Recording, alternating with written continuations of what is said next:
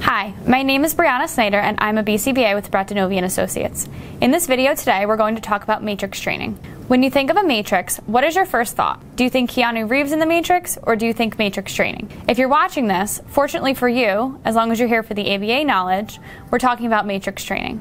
This video will cover 5th edition task list topics G11 and G21. Matrix training is a generative teaching approach in which words are arranged in a matrix so that some phrases are taught and others emerge without direct teaching. Research has shown matrix training to be effective in generating emergent multi-word tasks and can be used to teach listener skills. Other examples in which matrix training can be utilized include teaching learners how to spell and engage in sociodramatic play. Matrix training can be used to teach more than just verbal behavior, but for the purpose of this video, we will be mainly focusing on language. In order to understand matrix training, it is important to touch on generative learning and recombinative generalization. Generative learning occurs when previously acquired skills accelerate the acquisition of other skills without direct teaching or a prior history of reinforcement. An example of generative learning is behavioral cusps. Behavioral cusps are any change in behavior that allows the learner to contact new contingencies. A behavioral cusp exposes the learner to new environments, new reinforcers and punishers, new responses, and new contingencies. For example, when a child begins to emit echoic, tact, and listener behaviors, new mands and tacts can be acquired without direct teaching or a prior reinforcement history.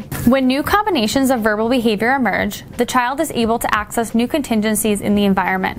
When a learner has the ability to successfully utilize these behaviors, they will be able to engage in social interactions with peers, thus contacting new reinforcers. Recombinative generalization is defined as the differential responding to novel combinations of stimulus components that have been included previously in other stimulus contexts. The components of trained combinations are arranged in new combinations based on environmental requirements. For example, a learner previously learned to respond green triangle in the presence of a green triangle an orange square in the presence of an orange square. Without any prior learning history, when presented with an orange triangle, the child was able to respond orange triangle. If a child is able to accurately respond to orange triangle without a prior learning history, recombinative generalization has occurred. Another example would be using matrix training to teach prepositions expressively. A learner previously learned to place a fork to the left of a plate when instructed to do so, and a knife to the right of the plate when instructed to do so. Recombinative generalization has occurred if the learner is able able to place a fork to the right of the plate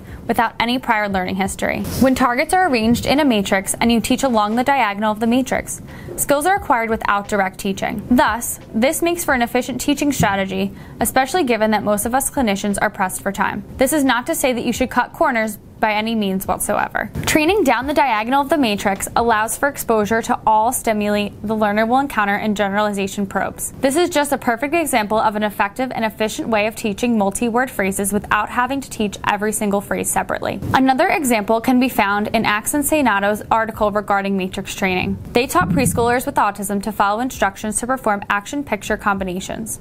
There were six actions on one axis and six pictures on the other axis. The instructions along the diagonal of the matrix were trained and instructions outside of the diagonal were probed for generalization. This study demonstrated that matrix training is an efficient and effective approach when teaching language and literacy skills. Matrices can come in all sizes as long as two concepts are being taught. For example, a 2 by 2 matrix can be used to teach colors and shapes. On one axis, there will be two colors. On the other axis, there will be two shapes. So, in total, there will be four color shape combinations. If two out of four combinations are trained, the other two should emerge without direct teaching. When setting up a matrix training program, you must first determine what it is you'd like to teach. Pick something that is individualized to the learner and is a functional skill. Once you determine what it is you're going to teach, decide how big the matrix is going to be. It must be at least a 2 by 2 matrix, meaning there should be at least two variations of the phrase being taught on each axis of the matrix. Each axis of the matrix should be one category. For example, one axis is strictly colors while the other axis is strictly shapes. Once the matrix is set up, initially probe all combinations. When conducting the probes, you should provide reinforcement for correct answers. If the learner is incorrect, do not provide corrective feedback. You can continue to probe the other combinations, or if there is nothing left to probe, move on to something else within the session. If the learner is continuing to get the responses incorrect, you can still provide reinforcement for sitting at the table with you, attending to the stimuli, or for working in general. If the learner responded correctly to a combination during baseline